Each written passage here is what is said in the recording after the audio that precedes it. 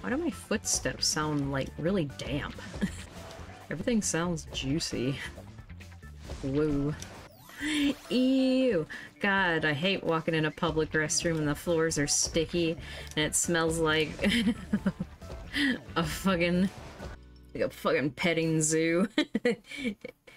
Hello, there is piss all over the floor. Sebastian the Crab here, letting you know there is peace all over the floor. Why? I don't know. No, I was thinking about that that that guy in that video. I think he's an Indian guy, and he, he's got that that bubble filter over him. He's like, "Hello, I am under the water. I am drowning. Please help me." Hello, how are you? I am under the water. Please help me. Here too much raining. Hello, how are you? I am under the water. Please help me. and everyone's like, help this man! Help this man! Hello, how are you? I am under the water. Please help me. yeah, it's like it's like really wholesome. Like like someone having fun with a filter they just discovered. I, even I am not immune to that. I guess I'll just piss on the floor. When in doubt, piss on the floor. Oh, dude, this one is hard. I, uh, I, going into this, I'm, I said, oh, this should be fun. Turns out it's hard. I mean, it is fun, but still difficult. a piss and slip? What is, what, what is that? Here we are talking about piss again.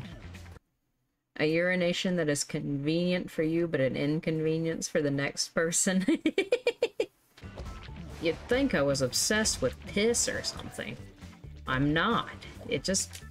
I mean, it's a natural body fun bodily function. It's bound to come up. Oh, shit. You pee on the floor, you leave, they come in, they step on your pee, they fall in your pee under the sea. Ariel, listen to me.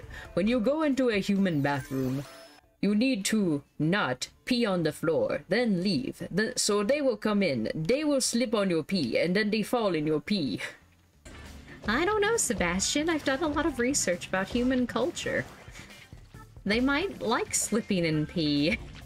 Ariel, on, on what planet would anyone enjoy slipping in pee? Under the sea, under the sea, turns out we're all swimming in each other's pee. I'm peeing right now. What if, what if Ariel, yeah, Ariel wouldn't know about, like, human bathroom customs. I bet she's just used to fucking peeing when, whenever she damn well pleases. It just goes into the water. How did she know how to use a toilet? That was an important missing scene from The Little Mermaid, man.